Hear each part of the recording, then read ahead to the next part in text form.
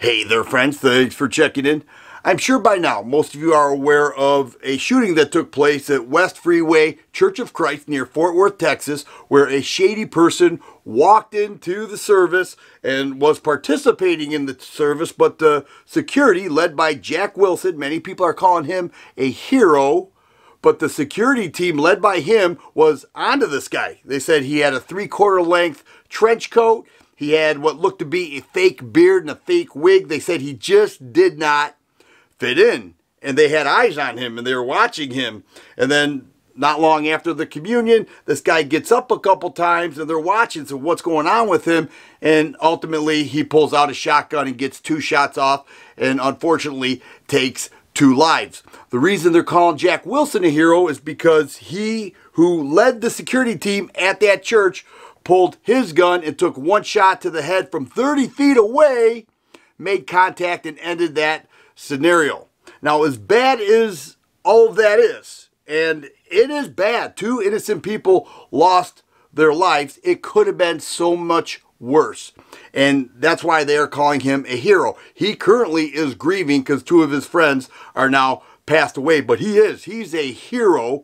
But let's think about this because anytime that there is a active shooter. There are so many lessons to be learned. Like we cannot plan for this. You know, how, how do you know when a, an active shooter could just show up somewhere and, and start shooting and then we can't plan for that. So the key is to plan in all areas, always be prepared. But there are three lessons that I came up with from this and we'll see what you think and if you agree. First off, never devalue the importance of a good guy with a gun. Now, I know that sounds basic and, and common, but there are anti-gun people out there all the time that will say something like, well, you think, you know, more guns is, is good, adding more guns to any situation is good. Well, it was the governor of Texas who, who uh, made into law that, or, or, allows, I guess, I'm not sure if it was law, uh, churches and places of worship to have an armed security presence there.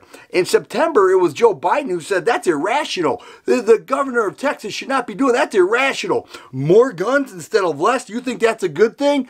Well, absolutely I do. More guns in the hands of good people keep a safe society uh, safer, and we know this, but you know, a good guy with a gun once again saves the day from who knows how many people could have been killed.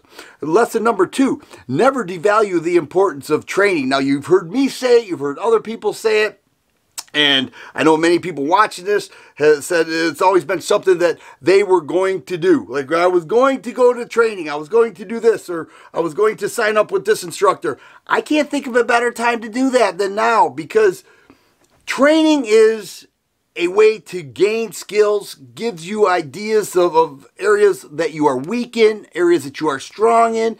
It gives you uh, a better presence of yourself with your firearm and what you're capable of, and, and also what you're not capable of, and other things. But also, one thing that's never talked about is that if you ever have to use that gun in a self defense scenario and you find yourself in front of a jury you can show that you're not just your average guy with a gun. They may look at you like a vigilante, but no, you will be seen as an expert when you show these certificates of the training courses that you have completed.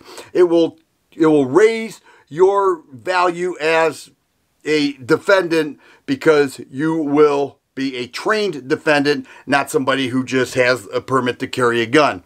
Number three, we hear so many times that people say, you know, 95% of self-defense situations take place within three, three feet or three yards. All I have to do is pull my gun and shoot. Well, in this case, it was 30 feet. 30 feet away, he had his headshot, and he even had to wait. It, all, all went down in six seconds, and he had to wait an extra second or two to get a clear shot. It could have been sooner than that.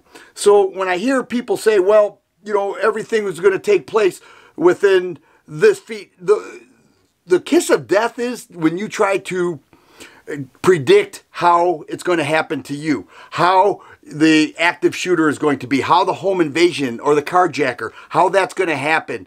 And, and you have a, you may have ideas, but you can't predict it. You can't predict predict where or when. They don't make appointments. They, they are trying to use the element of surprise, and you will be surprised.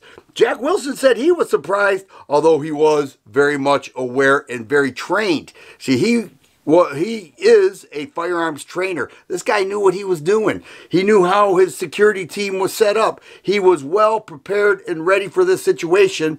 Although he is grieving because he lost a couple friends, he was extremely successful, and many of us need to learn from that. So when I hear people say, well, it's only three three feet or three yards away, that's mostly for law enforcement. It's not for your average self-defense scenario with citizens. I mean, consider being at a grocery store and somebody shooting at you from down the aisle. You may have to make that shot.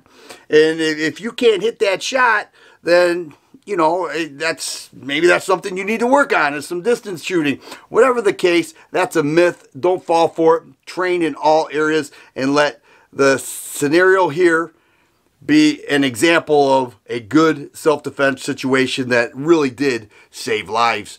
If you like videos like this, please subscribe and share. I always appreciate thumbs up button. Thanks for watching, and you guys be safe.